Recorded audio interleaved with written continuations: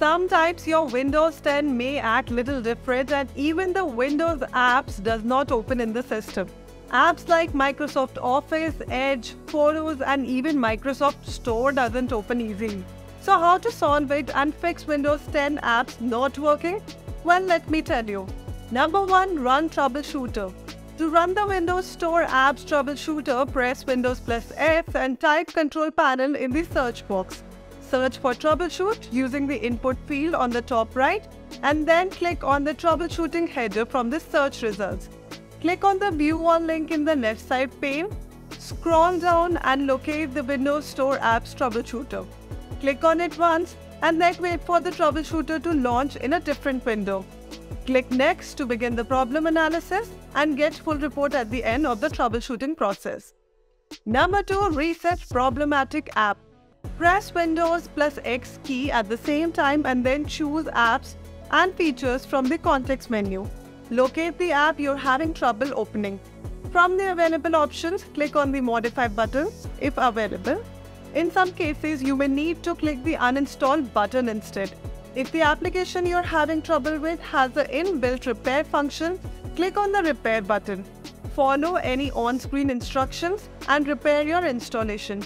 You may be asked to restart your computer for the changes to take place before your application is able to run on Windows. Number 3. Temporarily disable your antivirus app. A potential cause of app crashes and malfunctions is a conflict with your antivirus software. So let's see how to disable it for some time. Right-click on an empty space in your taskbar and choose Task Manager. Switch to the Startup tab using the header menu located at the top of the window. Here, find your antivirus application from the list. Click on the Disable button now, visible in the bottom right of the window. This will disable the application from launching when you start your device. Now restart your computer. Next is to run the system file checker. Press Windows plus S type command prompt in the search box. When you see it in the results, right click on it and choose run as administrator. Type in this command sfc slash scan now and press enter to execute it. Wait for the system file checker to finish scanning your computer. In the case of any discrepancy, the utility will restore system files and fix all the errors related to them. Next is to update Windows. Go to settings of window, open update and security.